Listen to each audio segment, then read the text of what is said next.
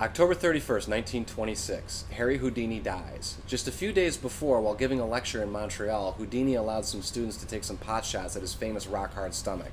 One of the students hit him unawares and ruptured his appendix. Over the course of the next several days, his appendix leaked out into his system, slowly poisoning him and killing him on Happy Halloween 1926. And that's history in a moment.